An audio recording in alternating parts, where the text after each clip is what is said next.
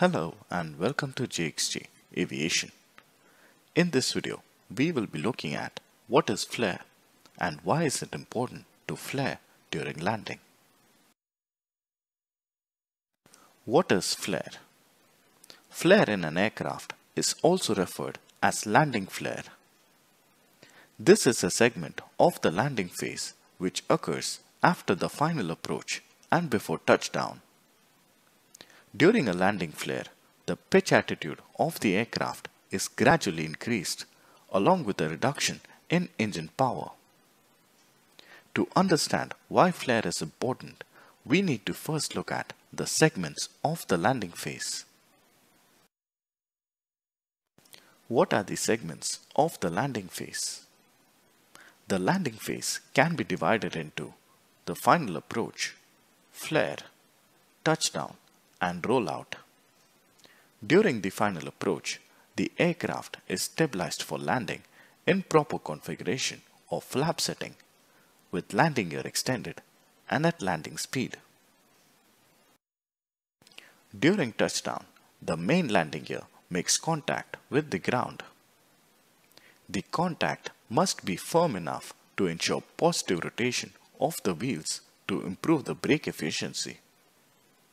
The flare ensures a smooth transition from final approach to the touchdown phase. Why is flare important? The landing flare will ensure that an aircraft lands on its main landing gear with a pitch up attitude, which is how an aircraft is designed to land. An increase in the pitch also causes an increase in the drag, causing a reduction in the aircraft's speed, which is required during landing. During the flare, the thrust or engine power would be set at or below idle to reduce an aircraft's landing distance. When is flare initiated? Depending on the type of aircraft, the height at which a flare is initiated will vary. For some fighter aircraft, flare is not required and the landing gears should be strong enough to withstand the landing loads. For other aircraft, the flare may be initiated a few inches or a few feet above ground level. What if the flare is executed incorrectly? If the flare is executed incorrectly, there may be an impact on the touchdown and the rollout segments. If the pitch attitude is increased more than the desired angle, then there is a sudden loss of energy which will result in a hard landing.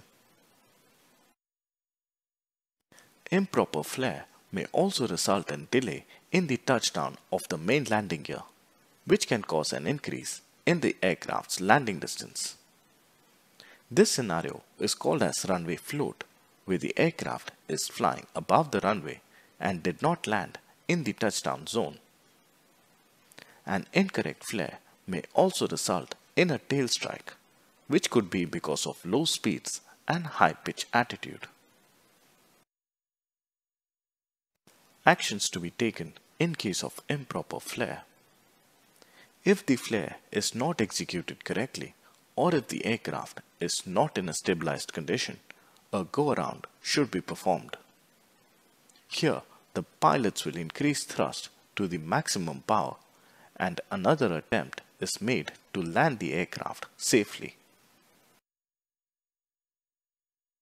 So that's all for my video on the landing flare and why is it important to flare an aircraft during landing. Thank you for watching.